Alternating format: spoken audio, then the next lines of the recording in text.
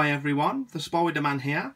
Well, I thought I'd give an update on my Platymeris biguttatus uh, nymphs and eggs. Um, I have um, seven nymphs up here. I think one has freshly molted, which would be, uh, yeah, this one here. You can just see there's a molt on the right hand side and there's the uh, assassin bug there. So let's just quickly take the lid off this enclosure and have a look. There we go everyone and there it is just a it looks a lot lot bigger than it did and there's the molt just there. So let's just uh, quickly take the molt out while I'm here.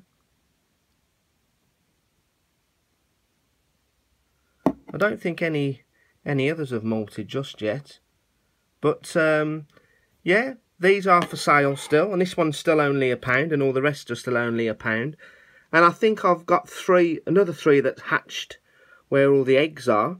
But um, I want to give a massive shout out to my lovely friend and subscriber, uh, Alison Louise Earp. Hi on, I hope you're okay and uh, just want to say thank you for watching my videos and much appreciated. So everyone, while I've got the lid off, let's just give this one a feed while we're here. I've got a black cricket there. Should take it down perfectly fine.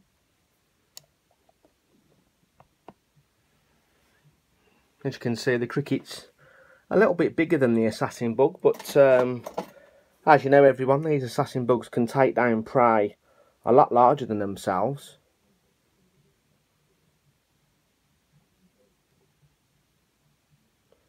So it's just a bit of a bit of a waiting game before I just give the uh, cricket a little touch.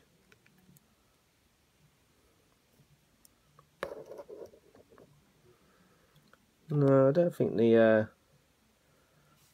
assassin is ready to eat just yet, um, which is a bit uh, a bit surprising.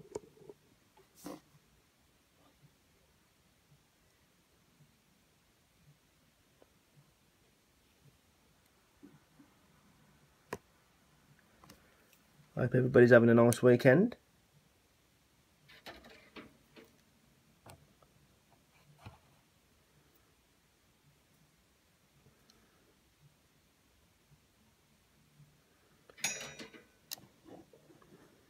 No, it doesn't look like the uh, assassin bug's uh, hungry today, but uh, no worries. I'll uh, probably feed it tomorrow or wait until Monday. So yeah. So everyone, yesterday I noticed three nymphs and oh, I've got four. There's one up the top there and then there's three just down there. So another one has hatched since yesterday and as you can see I've still got loads of eggs left. So like I said earlier um, these nymphs are all still only a pound each. Uh, if anybody wants any of these please send me a personal message on Facebook. I'll put my name in the description so you can contact me on Facebook. Um, I don't know if that one's dead. I'm not too sure. Let's have a quick look. No it's perfectly fine so yeah, like I just said, there's four in there. So I'll just give this enclosure a mild spray. And uh, let's get started. So everyone, I've got more spray bottles. So let's just...